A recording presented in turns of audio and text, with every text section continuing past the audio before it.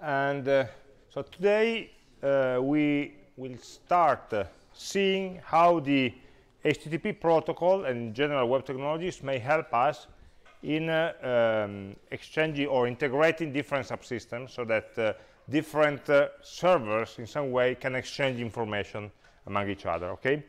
And we do that with by exploiting HTTP because it's there basically. So people uh, for years uh, have de developed uh, or mm, designed different protocols specifically for letting different systems to exchange information.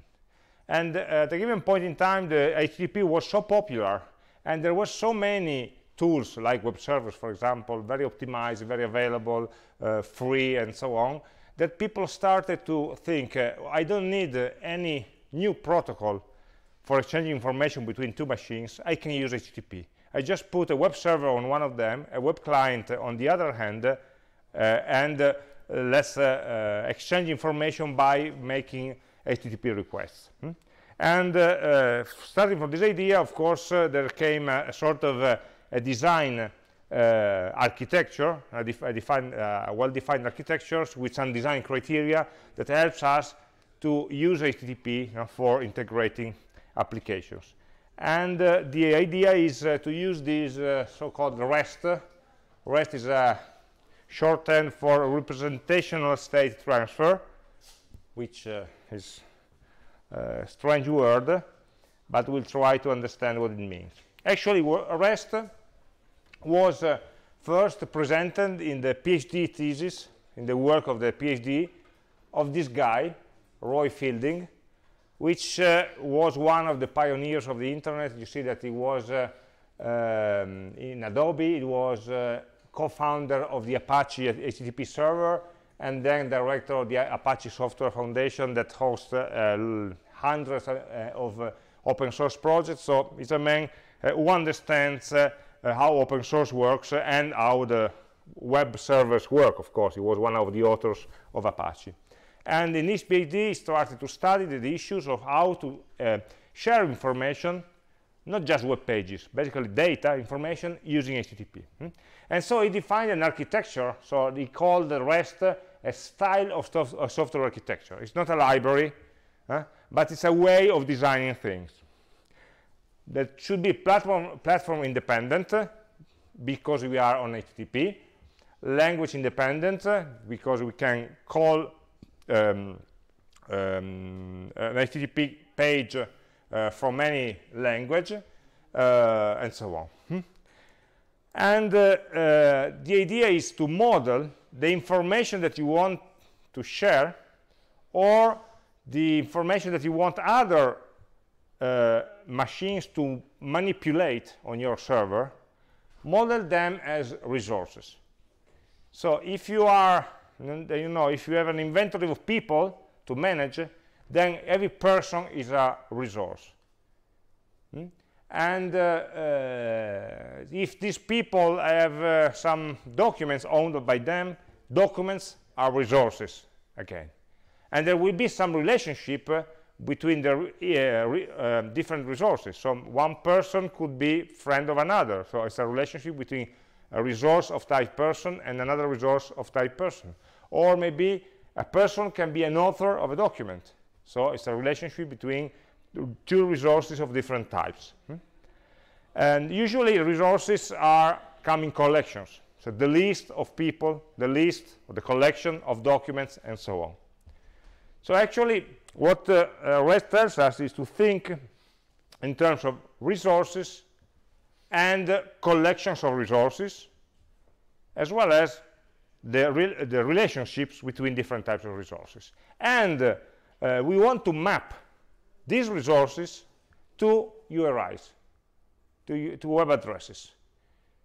So, so that we have one unique address that represents this person, one unique address that represents that person, and so on, and uh, one address that, that, represents the list of all persons, one the list of documents, a specific document, and so on. So we have a mapping scheme between abstract, conceptual resources or collections or relationships and a concrete representation in URIs. Huh? Uh, and with on these concrete representations, we can uh, apply operations, adding, deleting, modifying, reading, querying, using the HTTP methods. So if a, a resource is a URI, I can read information about that resource by making a GET request on that specific URI. If a collection of persons is a URI, then I can add a new person to the collection by doing a post on the URI that represents the collection, and so on. So we have a mapping of resources, concepts, to URIs, and the mapping of actions that you want to do on those resources at the conceptual level, and HTTP verbs that are already defined, they're already there. So we are, new, we are using 98% of the time only GET requests and 2% only POST requests for sending data. But there are, as you saw in the, in the reading, uh, seven or eight different verbs that are already defined and they are supported by all HTTP servers. So we could use these verbs by giving them an extra meaning, a more specific meaning. When this verb is applied on a URI that actually is a REST resource, then it means that I want to do something on that resource or on that collection. On top of that, uh, resources can be represented in some way. So one thing is to say, this URI represents uh, this person. Okay, how do I get the information about this person? The first name, last name, uh, birth date, and so on. I need to have a representation of the details of the resource. This representation can be done in different ways, as a text file, as a binary file, an XML file. We use mainly JSON files no, that are easy to read, easy to write, uh, easy to parse, uh, much easier than XML. And, uh, and uh, of course, they are natively integrated also into Python. So we have a concrete representation of the content of a resource that may be done in different formats. So for doing some examples, you can, you, we could think about students and courses, okay, in a university system. So imagine we have the designed the APIs uh, for Politecnico. So these APIs uh, uh, will manage list of students. So this URI represents the collection of all students. Just the name slash students and uh, slash courses represents the collection of all the courses in Politecnico. And how to identify a given student? Well, a given student may be identified by appending to the collection URI the, an identifier, a specific identifier, in this case the matricular number. Huh? So we know that this is an identifier of an object of type student. So if I stop the address here, I'm referring to the whole list of students.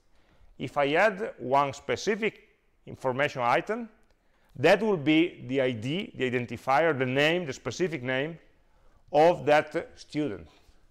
And we do the same with the courses. A given course is uh, specified by giving the collection URI of all the courses and then the identifier of that specific course. So there is no ambiguity between the different identifiers. Even every identifier only needs to work and to be unique inside their own collection.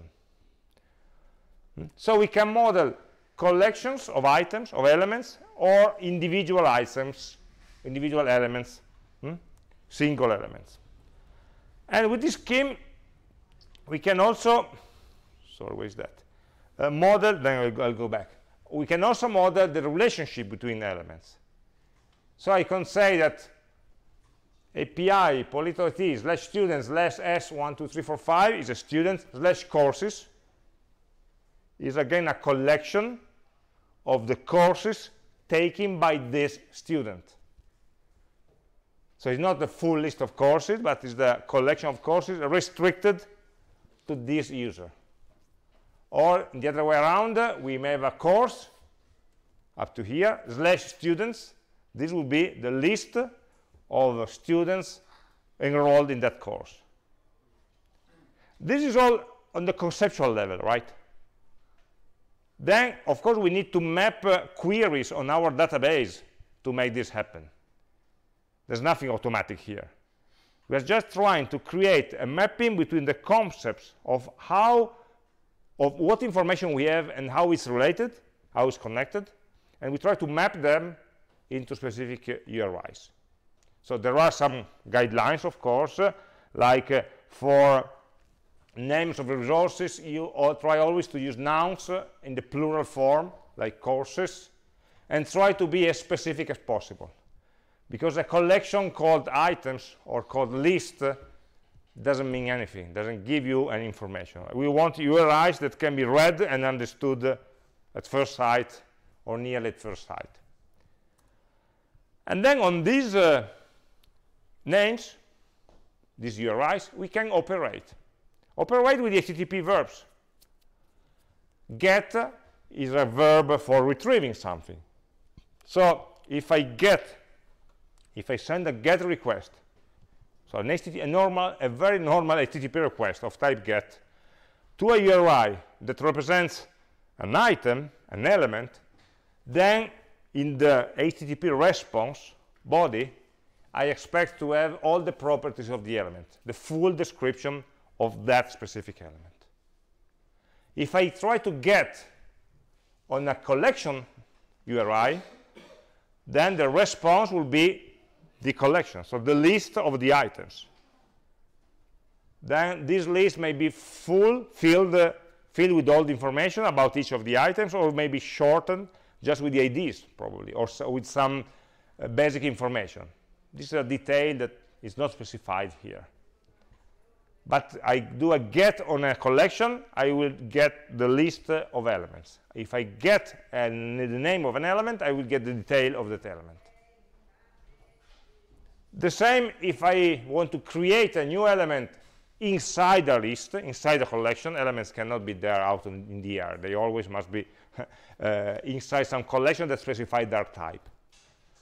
And in this case, I can, I can use post post creates a new element that I'm posting to a collection. So in this case, the HTTP request will have the description of the resource in the request body, like when we submit a form. In the form, when we submit a form, in the HTTP request body, we have the encoding of all the data contained in the form. And the same can be done here. We post to a collection, and the collection will be increased by a new element.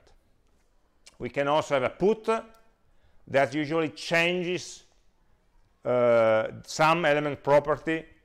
So I put uh, a new element and it will replace some data inside an existing element usually.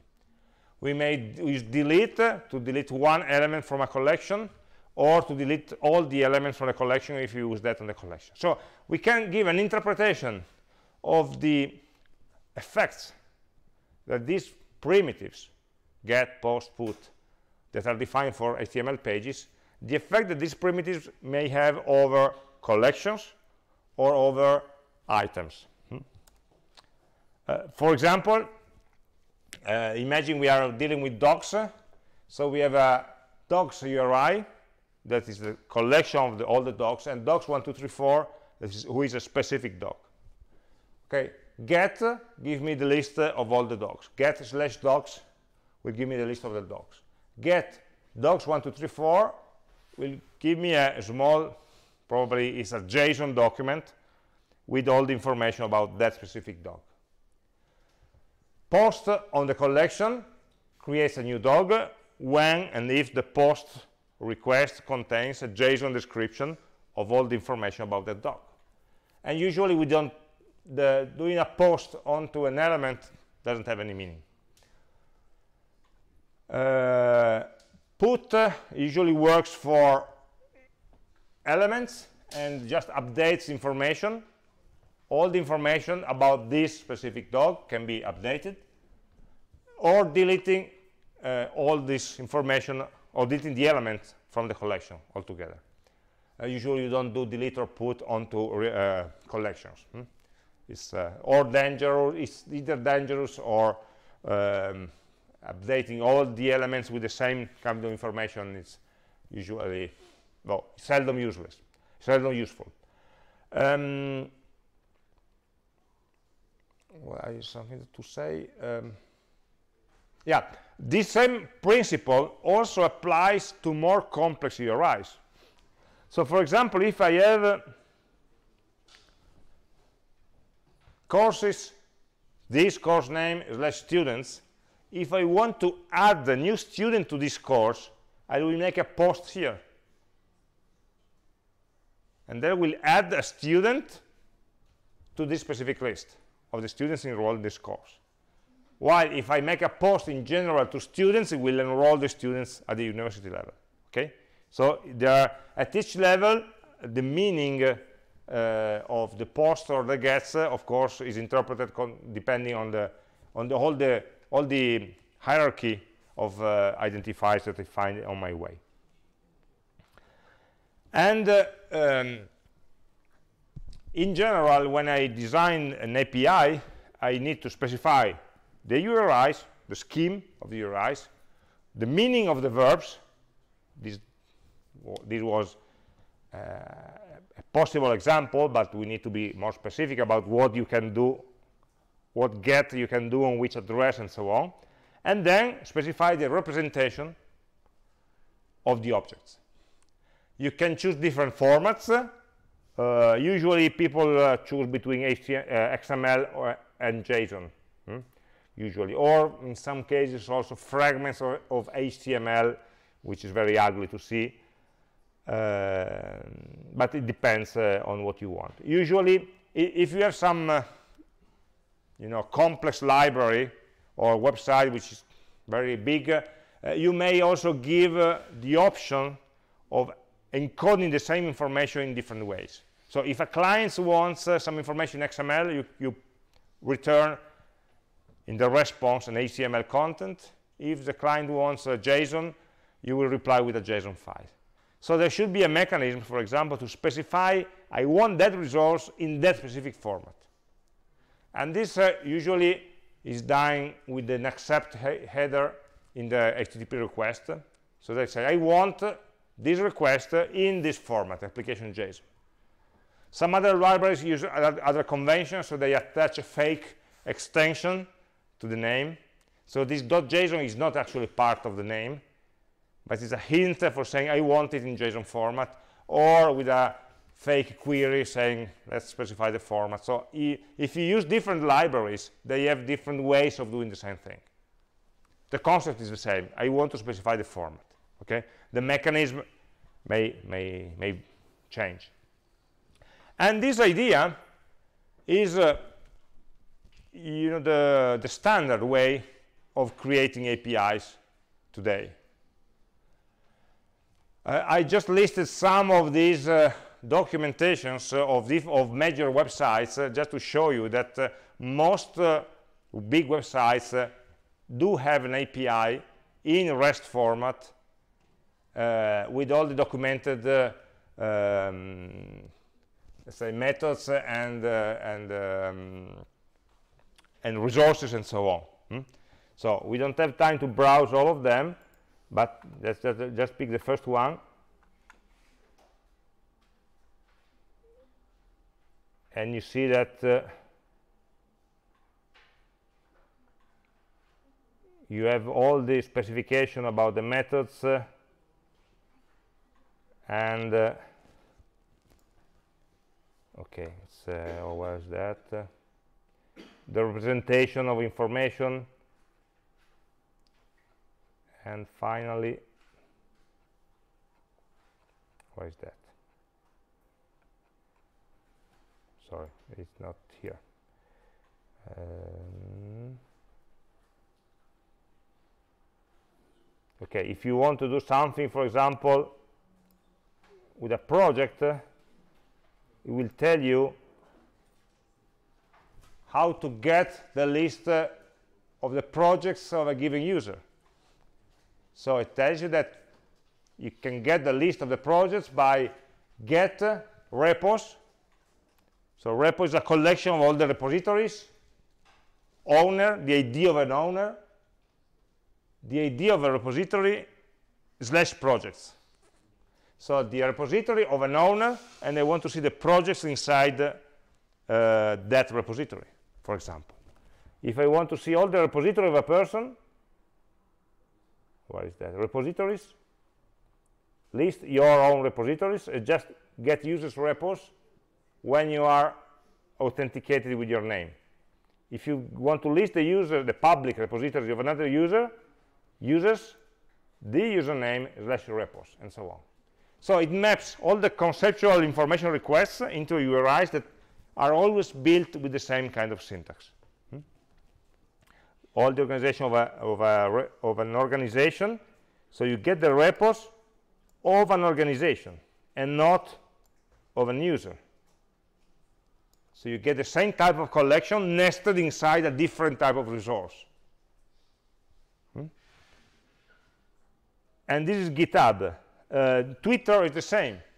It has a concept of a message, and the message is uh, all the information about the sender, uh, the linked image, the date, uh, whether it's a reply, and so on. Hmm? Google Calendar maybe can be useful Mm. So Twitter, uh, I enlisted these ones because they are actually useful to integrate with. So all the here, the main concept would be calendar and event. So we have uh, different many events inside the calendar. The events can make, may have a time, it may have attendees, and so on. The same can be done with Facebook. Hmm? Uh, all the information is accessible with the REST API through what they call the, the, the graph, graph APIs uh, that links all the information about the users and then you can sell them and um, okay so this is the basic um, let me skip a, oh one very painful part of APIs is always authentication. You already saw that with uh, Telegram that you need to go there and get an API key and then paste the API key in your application and register the application and make, okay that was simple okay? Uh, in, uh, in, many websites uh, today use a, me a, mechanism called OAuth version 2 that's uh, actually a two or three step process uh, you need to have a, a register as a developer and then register your application get a key for the application and then do the login the first time uh, in the um, in interactive way and then store the token. So it's a very complex mechanism. Uh, fortunately, there are libraries that help us uh, doing that. But uh our experience is that in the past, uh, a lot of people found, found it, for example, difficult to integrate with Google Calendar, not because of the API, but because of the authentication, of putting the right token in the right place and getting all the authorization right. Hmm?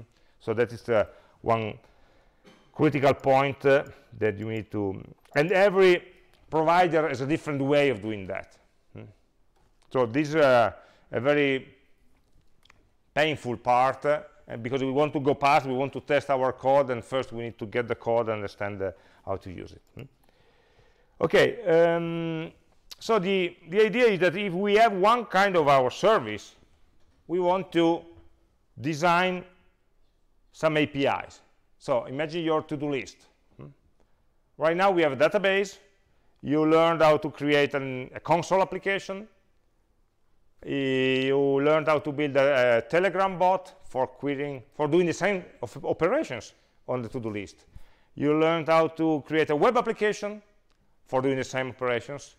And how, if we want just to see the to-do list as a service. Something that runs on a computer that manages the to-do list.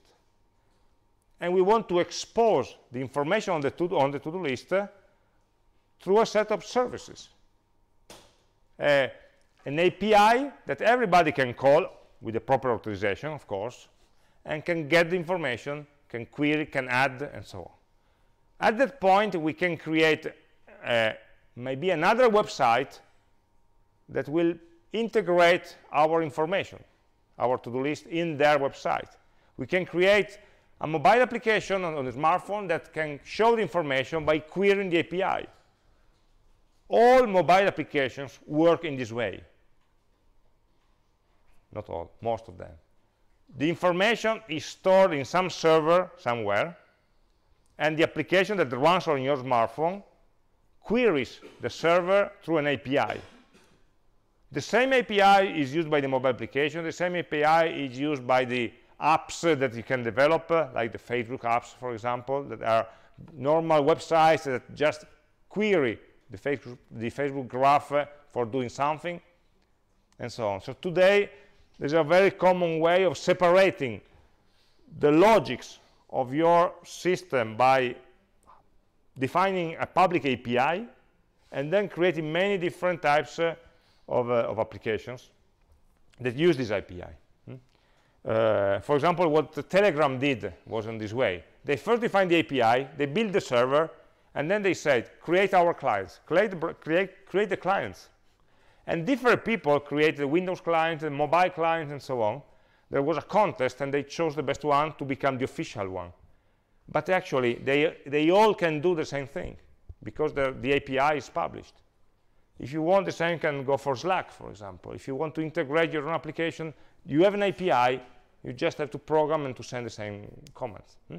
So the idea is how, how do you design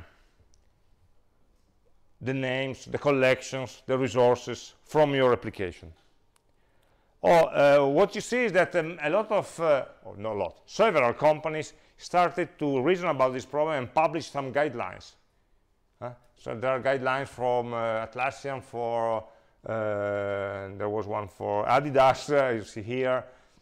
this, this website tries to collect that. So many major companies, the Amazon one, publish some guidelines saying, okay, if you want to develop APIs in our infrastructure or inside our company, we have some guidelines for you to use. So they are all similar, but with some you know, specific choices on, in the details. And for example, what is interesting is the Google API that I'm using here for giving some examples.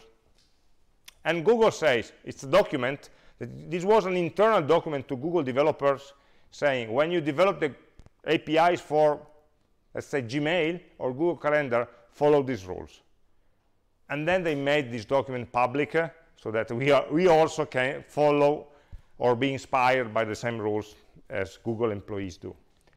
And they say, for designing an, an API, first you need to determine what type of resources you provide and the relationship between the resources. So these two steps are just conceptual steps on the blackboard, on a piece of paper.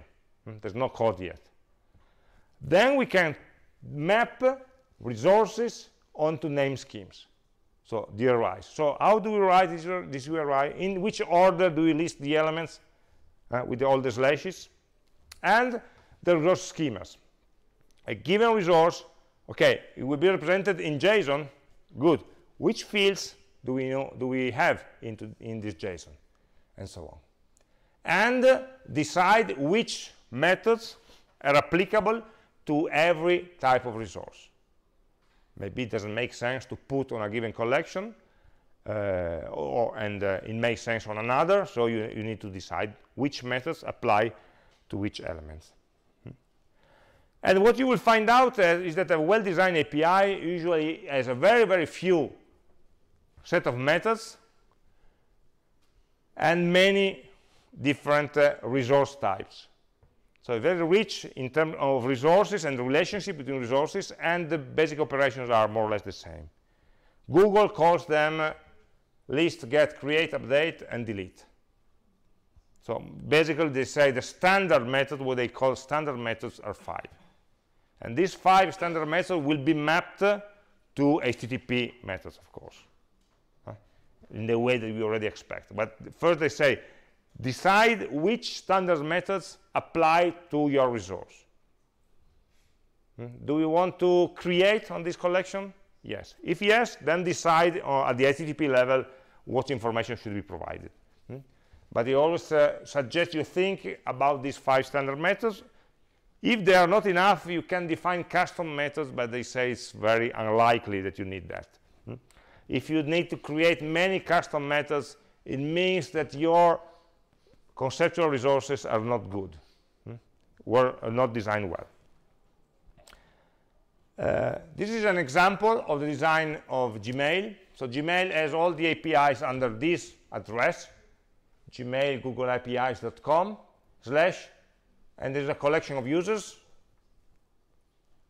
and every user with a username has a, set of sub-collections uh, messages threads labels history profile settings and so on so this is all the hierarchy inside the user's uh, collection so all this information are information about a specific user a user may have different messages, may have different threads. Threads are a collection of messages in a way. So inside threads there will be also the, the, the, the messages again, but only those messages that belong to this thread and so on. So for example, for searching a message, you can search by label, you can search by thread. Mm? There is no search method here. Mm? You're just providing information by entering the different uh, um, um, sub-collections. And then there are some resources that are a bit strange because these are actually messages, threads, labels, are actually description of the messages, of the mail. Huh? And profile and settings are something about the user. Hmm? So the, you have the two different families, no? something about the, uh, the user profile, the settings, the preferences, which is static information, doesn't change very often, in fact, a user has only one profile, singular. There is no slash. There is no, this is not a collection. It's just one resource. Settings. It's only one resource with all the list of settings. While messages is a collection that holds many different messages, each with their own representation. Hmm? So this is the, the part that is not uh, easy to come up with if you have a complex application. This may or may not represent your database tables. So an easy way would be to match as resources your tables in the database. It makes sense in many cases if your database is simple. But there's no requirement to do that. Maybe this is much, much simpler than the actual implementation of your tables where you have to keep, keep track of uh, a million different uh, particular cases. So the user register is not registered, is activated, does it have uh, any friends or not, so maybe represent it differently. Well, at the API level, it, will it, it must be all much, much simpler. Try to simplify it and think in general terms from outside. What is the conceptual model that I want my users, so the programmers that want to use my services and to want to pay for my services, what is the, the mental model I want my developers to see about my service. Hmm? And Google says that the resource names, uh, okay, are just a con concatenation of different IDs. Some of them would be collection IDs, some would be individual resources IDs. Hmm? So in this case, inside the collection of users, there is one specific user that is identified by their um, email address. So it may be just an, an identifier here, a users, or maybe even more complex they did. No, nobody says it should only be made by numbers or by letters. What we want to keep is the slash as the separator. So let's try not to use slashes or spaces inside the, the identifiers, but then the, the set of characters depends on us. And then this resource has a sub-resource, which is a, a sub-sub-resource that is ca uh, called custom from, which is the from address that you, can, that you may modify in your settings. So you have all this uh, sequence. Um, the suggestion is that uh, names for resources should be correct English words, uh, nouns uh, in plural, you may abbreviate, but it's not very suggested, and use uh, simple terms uh, and use the, these terms uh, consistently. So always call in the same way, the same concept, and different names for different concepts. they may be trivial suggestions. they are written the guidelines. And, um, and try to avoid also names that conflict with keywords in programming languages. Hmm? Uh, because uh, prob probably your programmers would, would, want to call uh, users the variable that will hold the list of users okay so users is a good uh, identifier for a variable if you call them uh, i don't know array uh, then probably the programming language has a reserved uh, word for array. And uh, and uh, you need then the user will need to invent a new different word. So if you if you avoid this hmm, it will be better for the programmers. And also the collection names or resource names and collection name collection should be more more restricted. They say that they should be valid as identifiers in a programming language so for example users is a valid identifier. Name at example.com is not a valid identifier. Okay? In, in using the API I will probably have a, a variable with the name of the collection. I won't have the variable with the name of a specific ID I will call it user or this user something like that. So there are re less restrictions on resource name than on collection names. But the general rules are the same. And what you should you should avoid are general terms. Elements entries instances items objects types resources and so on. They don't mean anything. Okay they're too general. Try to be specific about what this collection contains. Does it contain students? Does it contain courses does it contain tasks in the to-do list. Hmm? and uh, the five standard methods are list get create update and delete. And how do we implement them in http with these five rules? Get on the collection url lists uh, gives you a list. Get on the resource so collection versus resource. Gets the information about the specific resource create is implemented by posting to a collection. Updating is implemented by putting to a resource so not to a collection. And delete uh, will delete a, a, single resource. So these are just, just the, the, five standard methods that Google acknowledges they should be used uh, um, everywhere you find it possible to use. For this uh, the request so we have an http request and http response. The request will have a body. In these two cases create and update especially create. I want to create a new item so I, I need to provide all the information about this item. In other cases I don't need any I don't need anybody in the in the request. The response usually gives back the copy of the response of the resource in a get of course you're getting the description of the resource. In the post the suggestion is to give back to return the description of the resource that was just submitted. But maybe you have some auto increment id that was not specified by the creator and it's only known after the element has been added. So a post should return a copy of the element itself. A put should return a copy of the modified element?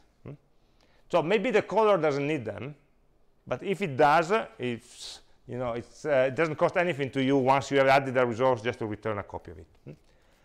and uh, let's not speak about delete because I am always allergic to deleting so if you want more information about how Google thinks about these methods you can go to this page and for each of them it will tell you for example for list all the suggestions uh, what method use uh, what should be in the request uh, what should be in the response and so on. Hmm?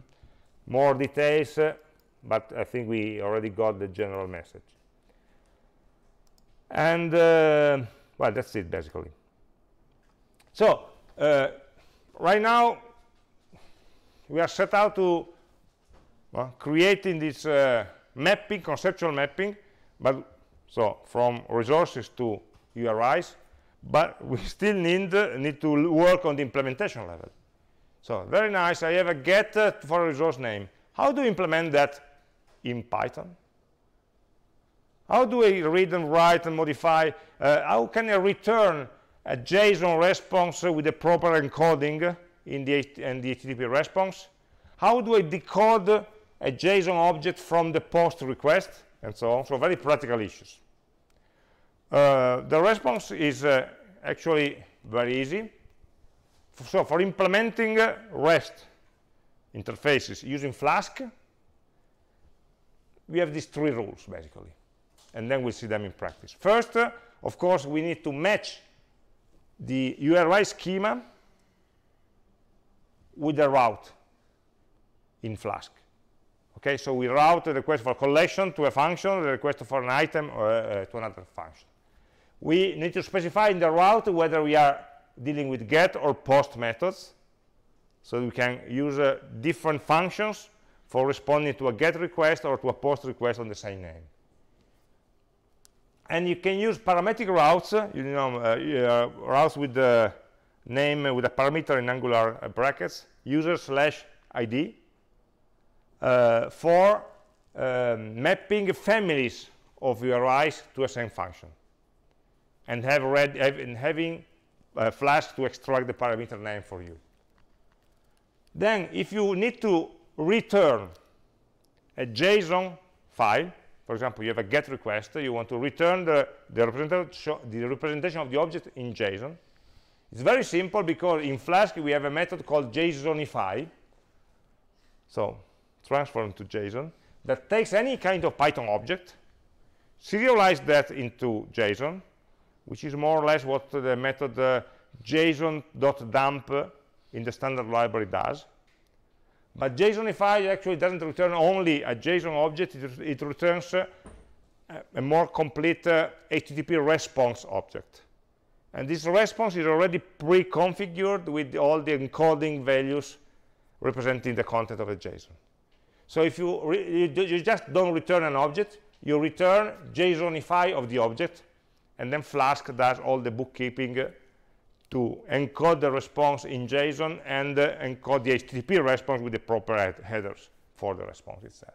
So this is the case when you are returning an object. And when, you, when you're receiving a request, for example, a create, create will be a post with a JSON payload. In that case, request, which we already know, it's a we, we, already used the request object from Flask uh, by, for getting the form data, request.form, you remember. There is another field, request.json, that will parse the data in the, in the HTTP request. If this data is in JSON, it will return a Python object with all the information uh, corresponding to that object. So it already, will already do all this work for us. So it will be very actually easy to write this implementation. So let's try to implement a very simple API. I already one uh, uh, on, on, GitHub, but I will create a new one here just to we, so that we can do it together. REST API test. Hmm? So we create a new Flask environment.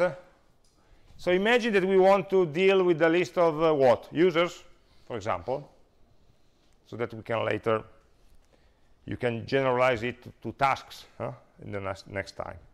So we wait until the creation of the virtual environment.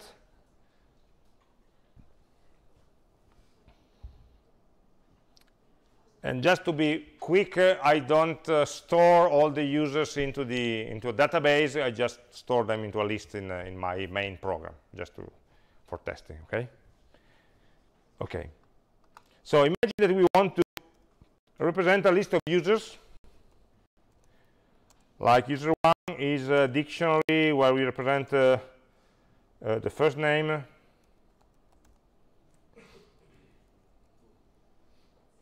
which is me, for example.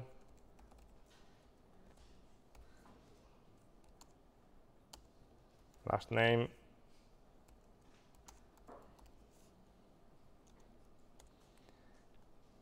First sorry it's colon not equal. It's a it's a dictionary. Hmm? first name. And then user 2 could be Luigi.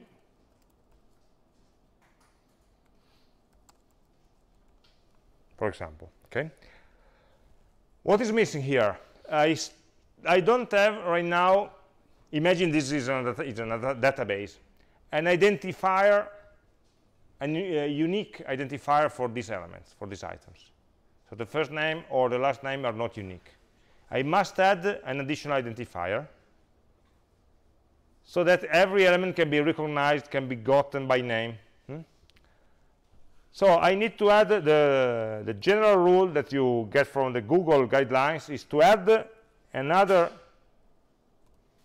attribute called name and give name maybe one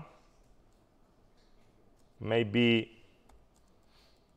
the initials or something like that. So you should have an attribute called name that represents the unique identifier. Uh, think of it as, as the id of the element. Google suggests you use name instead of id mainly because in this way you cannot use name in any other context. Because they said we found that name was a very confusing word name uh, because it may refer to many different things. The name of what? So they decide they decide in their, in their guidelines name should be a, the id of the resource. If you have added other names like first name and last name qualify them. Course name person name okay university name task name. Never use name alone because it's ambiguous. Well, Google says use name as the identifier of the element. So every element for us, for or in every collection, should always have a name attribute. So Luigi De Russis, Louis LDR, for example, and so on.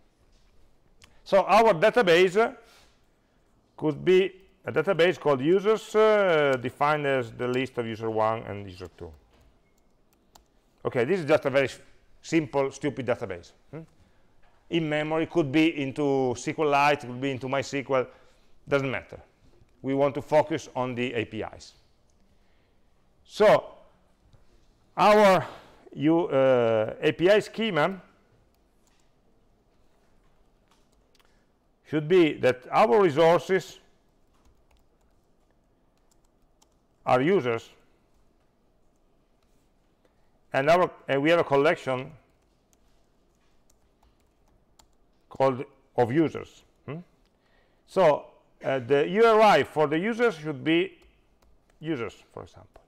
And the URI for each user should be user users slash uh, the name for example in this way. So right now we only have these concepts the representation of a given user is just these three names encoded in JSON.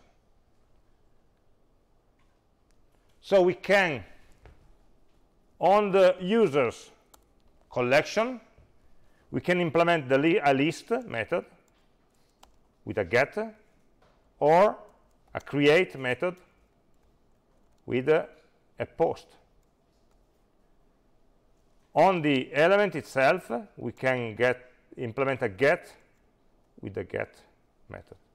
It's called uh, sorry i don't remember whether google calls them just to be consistent in names uh, yes get. Update and delete uh, will not be implemented in this version. Especially not delete. Hmm? so but if if we if you want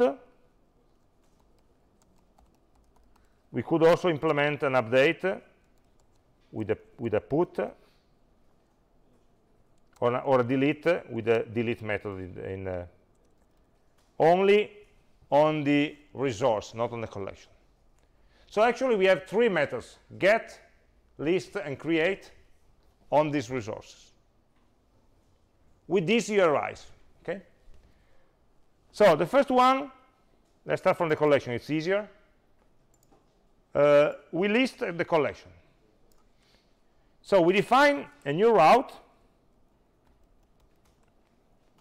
of uh, users. So we define a method which is uh, list users.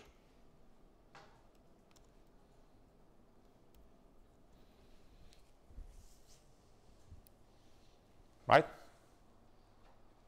So it's also easy to give the names of the method because the name of the operation and the name of the resource in which we are operating. So we want the list of all the users in, our, in, the, in the, collection, in our, the user collection. Uh, right now we already have it. It's this Python variable. Okay. So, in, but in general, it should be get the list of objects into a Python variable. Or basically it would be a list probably. In this case, we already have it, okay?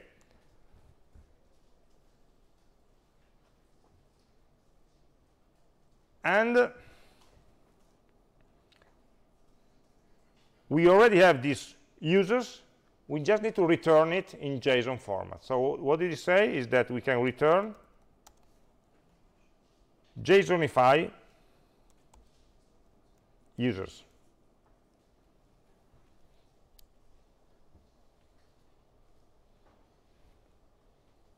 JSONify is a method in Flask. So what does this method do? Take this object, this is a Python object, it's a list, we just created it there, there. converts that into JSON, and construct an HTTP response object with all the headers containing this as a response payload. That's it. we created our first REST API. Does it work? Don't know. Let's try. So we open the website and we try to write uh, slash uh, users.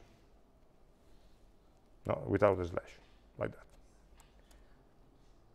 And what we get is actually a JSON.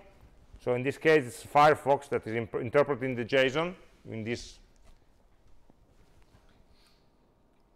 but basically this is the actual payload and you see that the headers returned already set the application slash json content type on the response so jsonified already did everything for you we set the, the application json content type and we serialized our objects in json with this JSON syntax, which is very similar basically to the Python syntax for creating lists and dictionaries. And it will be also similar to the JavaScript syntax that we learn um, on Thursday. So in this case, we return the full list of all the elements. Maybe it's a bit too much. Maybe we want only to return the names, not all the details because if you have a very large list of very big objects uh, returning everything may be too much we don't you don't need everything together so maybe you decide that the list only represents the name. You should always return the names plus maybe other information. Maybe not all of that but maybe not all the information. If you only want to return the names then you just have to construct the right object here. So it would be some user names, would be a list of name um,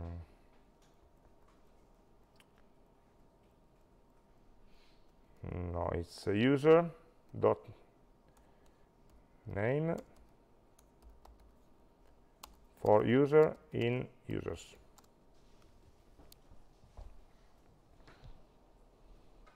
Okay. You read the syntax it's a list comprehension. It's a list square brackets constructed in a for so I'm saying iterate the variable user for in the list users for each iteration return username so the, the field name for that user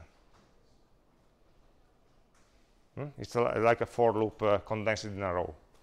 And so I can return usernames. And in this case, probably, in my work, and return only the names. Hmm? In this case, it's just a list. It's no longer a list of objects, it's just a list of strings.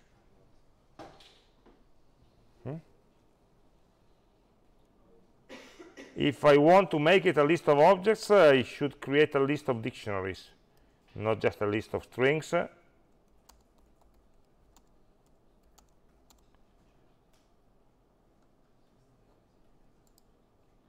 So I create in the list, uh, every element of the list will be a dictionary with a key is always name and the value is the name, the, the ID of before.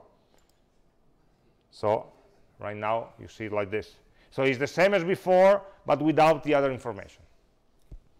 It depends, this is what we call the representation schema for the resource. How is this JSON formatted?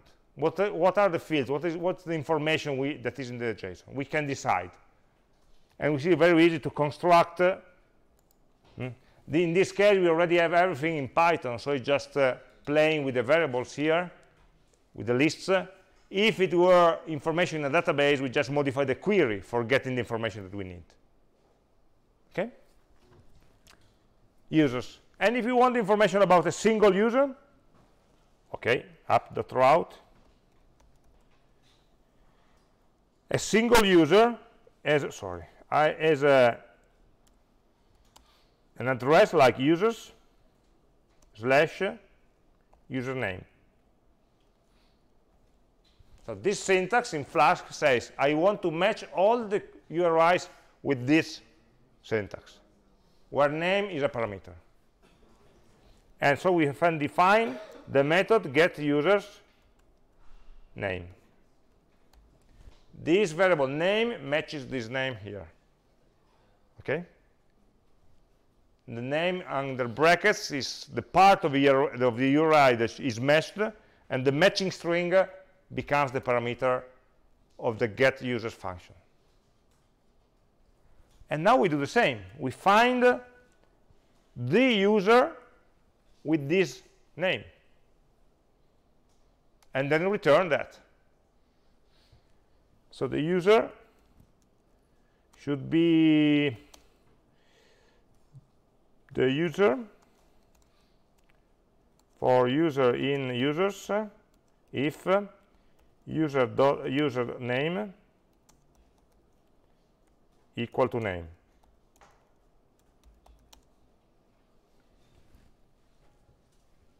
So for user in users i iterate over the users collection.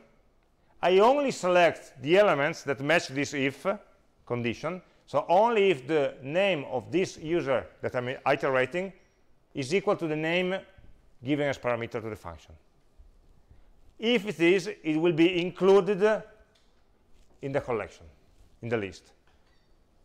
I don't know how many items will be in this list. From zero to many.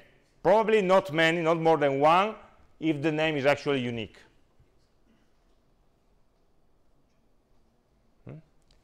Um, and so I need to check on the length of this list. If this list only contains one element, then it's the one I want. If it doesn't contain one element, maybe zero, then something is wrong. So if the length of the user is uh, 1, then I'm good. I can return this one element. Return JSONify of user 1, user 0, sorry. Because the list only contains one element, uh, but it's still a list, so I need to pick the first and one element. Otherwise, something's wrong, so I could return an error message or something like that. Let's return for, for the, just for beginning uh,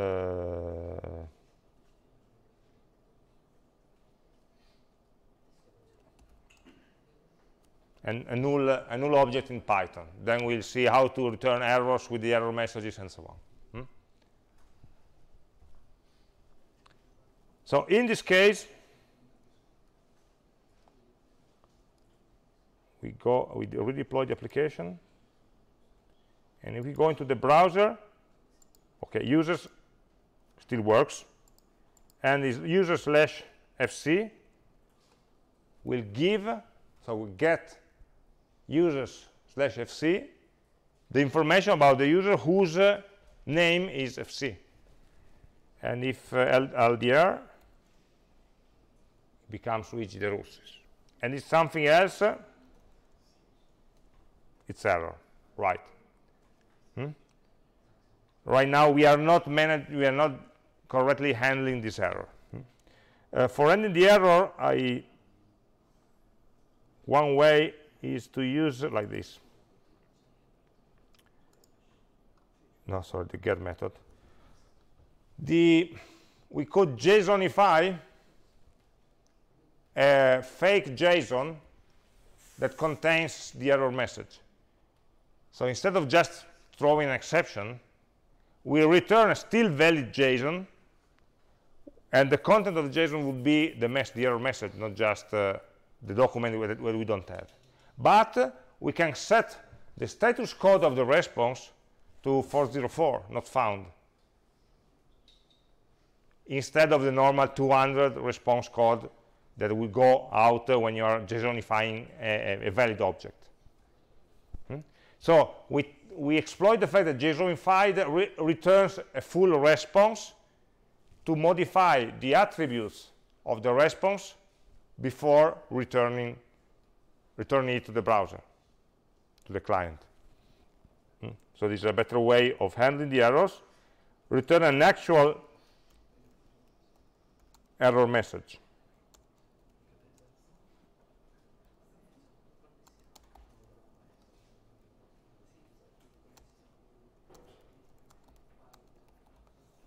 User not found. Name. And then we set the response code to an HTTP error message not found. And finally we can return the response this response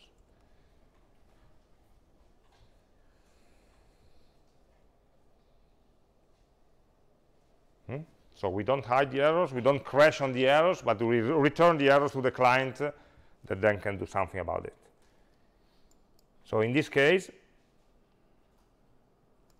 if we try to ask for a non-existing user, we will get a message instead of the user information, a message, and uh, well, in this case, doesn't tell me the, the, the return code but we know it's uh, 404.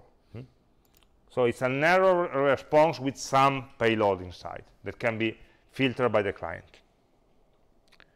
Okay, right now we are playing with the browser because with the browser it's easy to make a get request. You just have to write the address hmm, in the address bar. But if you want to test it, so we are creating an API, how do, do we call this API from another application? Even before, because our next step would be to issue a post, and we don't know how to do that with the browser. Okay. So right now we are testing that in an interactive way. But can we write a, a very simple test program, a client that will call this API for us? Because the API actually is not intended for users. It's intended for programs. Hmm?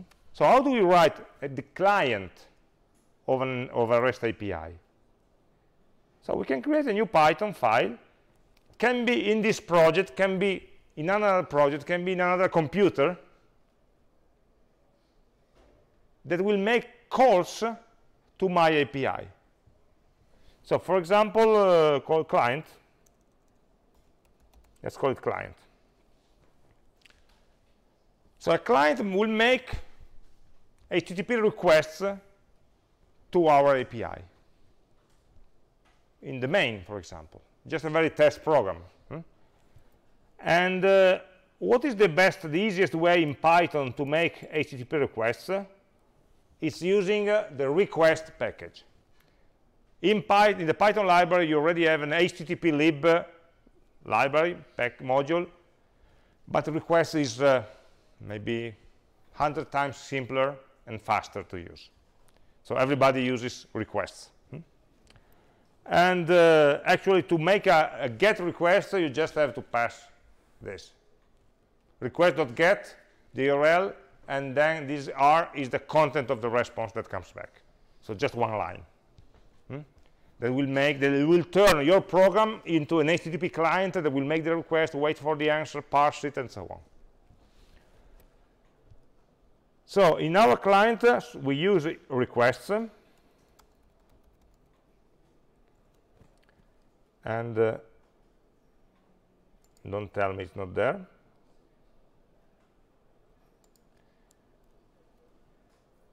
and uh, uh, I want to install it. Okay install package requests. Installing. And while we write the test program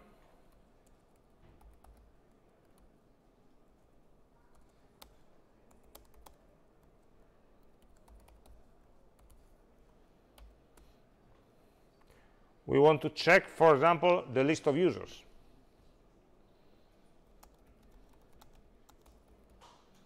So we have the users uh, is request dot get slash or let's set maybe a base URL base URL to the common part to avoid typing too much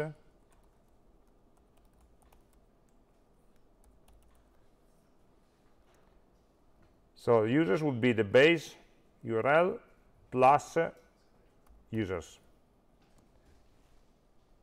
And we can see what comes out.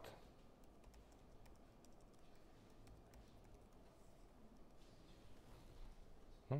so it's a very simple program that does this request. So we are, this is a client of our API if I run it I expect to see in my console down here the list of the usernames the, the identifiers.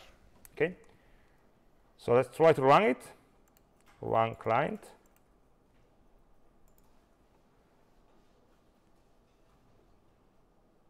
Ah, sorry, response users dot. This uh, is a response object. Okay, I should extract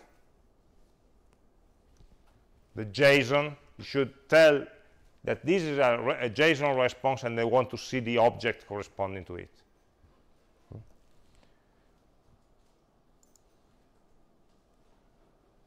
Like this. Hmm? An array of dictionaries with the names.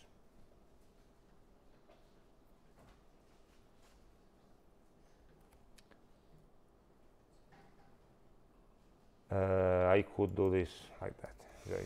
Let's put it here. So that users is a real list. Okay, I just forgot .json there. I moved it up.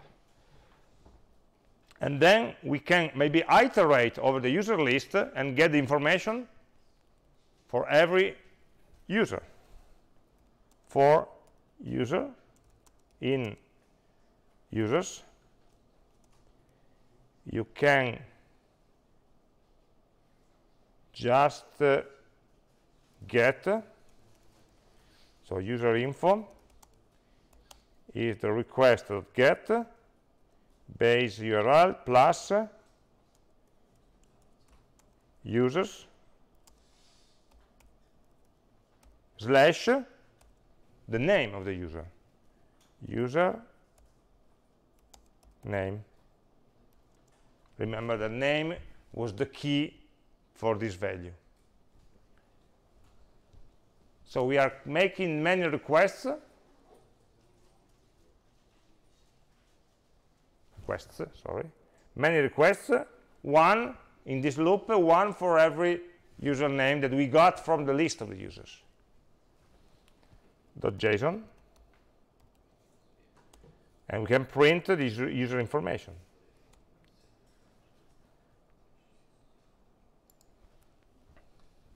So we get the list, information about the first user, information about the second user. You see, it takes uh, fractions of a second.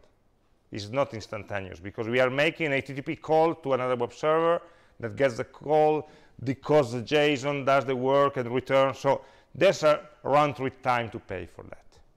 But the simplicity compared to other methods of getting that information is really one line of code here and one line for the implementation, remember.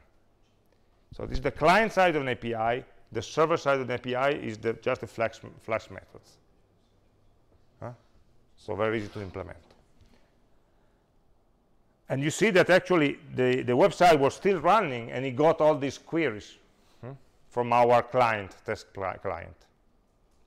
Okay, the last um, operation that we want to do is uh, uh, creation of a new element. So this is the first time in which we have to actually send some data to the server. But the pattern is always the same. We route the URI of the resource, of the collection, sorry, users, because we post on the collection. We say that this is a post request, not a get. So we need to specify the methods of this uh, that apply to this route uh, that is uh, post. And then we define on this route the create users method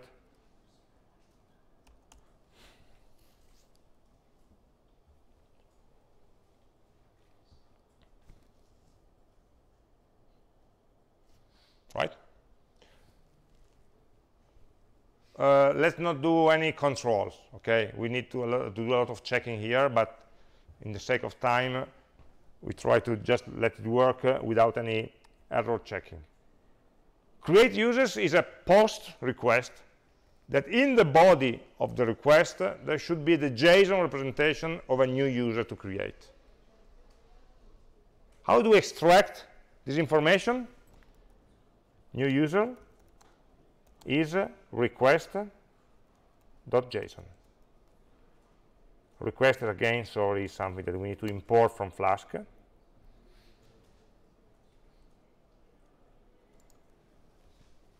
So the Flask is already parsing the body of the request. If it's JSON, it, it will already give us a new object. And this object, now we should check that the new user is uh, actually representing a user, not a cow, for example, or a beer, or something else. It should, it should have the, the fields, uh, first name and last name expected for a user object, hmm? because right now anything is a, J a valid, valid JSON. But if it is and the new user dot name should not be already be in the collection because we don't want uh, to allow inserting a duplicate user ID. These are the checks that should be there. Huh? Let's implement them later, not, not now. Hmm? And once I'm sure that this new user is a sane and valid value, I just add it to my database in this case, it just users.append. New user. And then, as Google says, I should return a copy of it. Because I didn't do anything special. So there are too many P's here.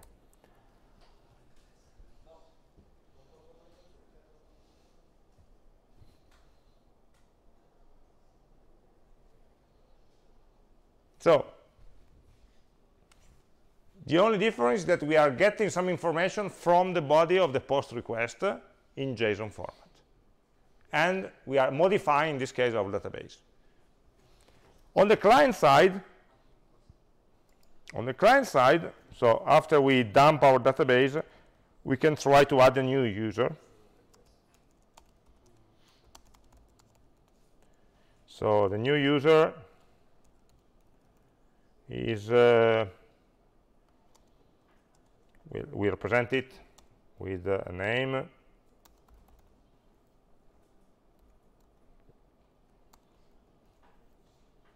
Uh, first name.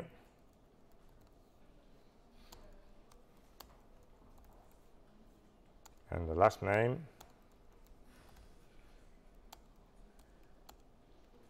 Let's choose Einstein so we we are in a good company. And we want to call the API for adding the new user. So in this case, it's a request dot push post URL, and you see that one of the many optional arguments is just is already JSON. You can specify the post data textual in, in, in text format or in JSON format. So you just have to write the URL that is uh, base URL plus users and the body should have a JSON from the object new user.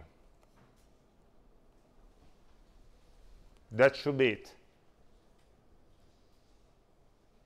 And to check it, we just try to repeat this code here and to print the list of users again after we added Albert Einstein. So ju I just copy and pasted the get of the users and then the details of the users. Hmm? So let's run it again. Uh, did I restart the application? No? And then let's run it. So it will print the first list, add, reprint the list. It doesn't work because uh, it, it has not been added. So it's not working. because I have some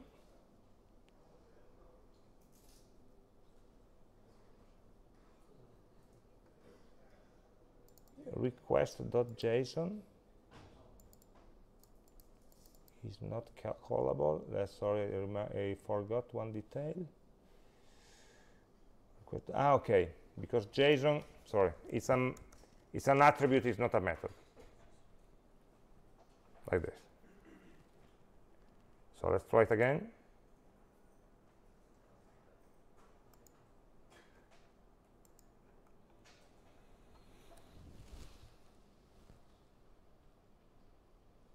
Okay, you see that there's a new name here because the post actually works this time.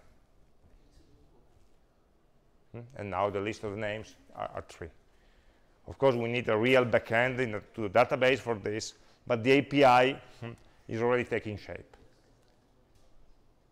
So imagine you have your system, your project with different, uh, you have some data into one Raspberry in a corner, how to get data to and from that computer.